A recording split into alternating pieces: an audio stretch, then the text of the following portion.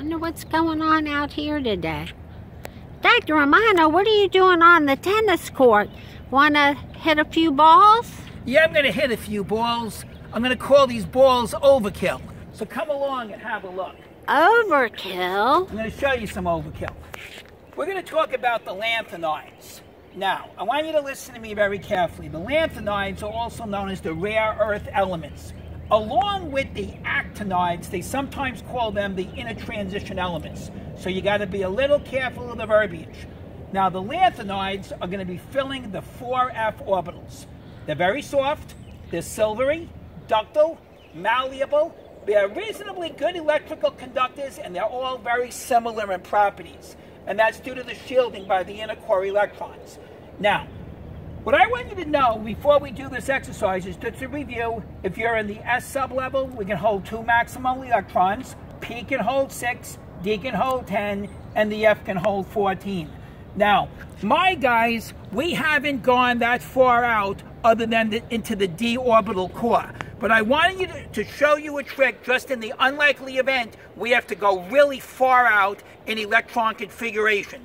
So a little trick that's known as the diagonal rule is you first write 1s, and you're going to go all the way down to the number 7. So 1s, 2s, 3s, 4s, 5s, 6s, and stop at lucky 7. Then you're going to go to the next column and just write 2p, 3p, 4p, 5p, 6p. We can stop it at 6. And then over here we're going to go 3d, 4d, 5d, 6d. And we stop it there. And then this column, 4f, 5f, 6f. What I want you to do is I want you to practice that. Now, what we'll do is, so once you got, another way you could have done it is you could have wrote 1s, then 2s, 2p, 3s, 3p, 3d. So I'll let you figure that out. When you come down like this, that'll be 1s. Then you come down again, that'll be 2s. Then you come down, 2p, 3s. And then we come down here, 3p, 4s. And then when you come down here, what does this say? 3D, 4P, 5S, etc. I want you to practice it until you can get out to lucky 7. So this is going to be the core that you need that'll give you the answer most of the time. Um, as an example, we're going to use an element you probably never heard of called praseodymium.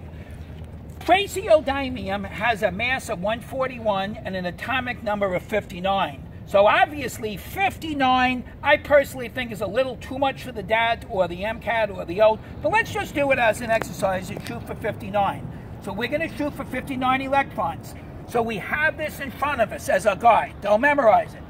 So we're going to shoot for 59 and we get 1s2, 2s2, 2p6, 3s2, 3p6, 4s2, 3d10, 4p6, 5s2, 4D10, 5P6, 6S2, and there it is, 4F3 with three unpaired electrons. I hope this helps. If you can do this, this is a guaranteed type of question on the DAT, the OTA, the MCAT. I don't think you'll need to go out this far, but you know I love 30 and I love overkill. So just as a safeguard, but before you do anything, just practice how to do this mindless little trick here. Lay them out, cross it over, and you could probably do it in 15 seconds so you can have all the orbitals um, laid out and whatever they ask. It's a commonly asked question on the grad school exams, though. So just as a safeguard, we should know how to do it. I didn't show it to my destroyer group this year, but I'm going to be mentioning this tape to the kids over the summer, and I think I want you to know it just to be on the safe side. All right, I hope this helps on a fun video, I hope, that now takes away the mystery on how to do these configurations. Okay, Dr. Romano, I have my tennis racket in the car. You want to play, hit a few rounds? Get your ass back to studying. Good day to you. Good day to you, sir. Boy, he never takes a break.